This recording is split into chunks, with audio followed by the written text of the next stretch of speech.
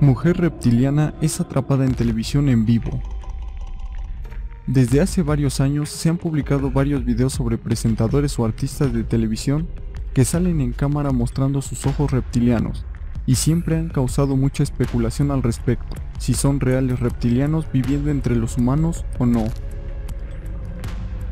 Ahora un nuevo video captado en la TV en vivo está causando gran debate en las redes sociales, en el video se observa a la presentadora entrevistando a otra mujer, que aparentemente según los usuarios tiene ojos de reptil.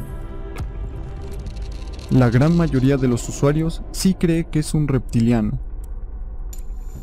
Pero por otro lado, los escépticos dicen que esa mujer tiene el síndrome de ojo de gato, o síndrome de Schmidt-Fracaro, que es una rara enfermedad humana que se produce por una anomalía cromosómica,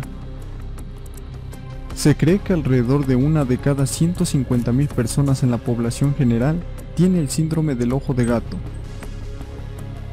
¿Cuál es tu opinión? ¿Es un reptiliano o es una enfermedad de la mujer? Check out this chick's eyes.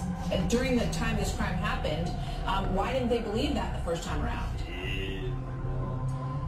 Well, the first time around in 1957, when uh, Jack, along with hundreds of other people were high definition. uh, considered suspects, he was cleared.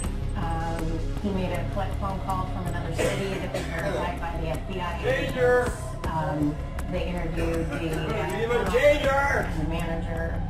He spoke with three.